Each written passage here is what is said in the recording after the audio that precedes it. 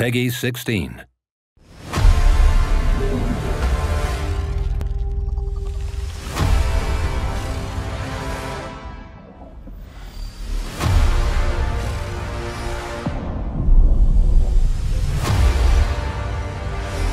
This morning, for the first time in humanity's long and storied history, the sun did not rise.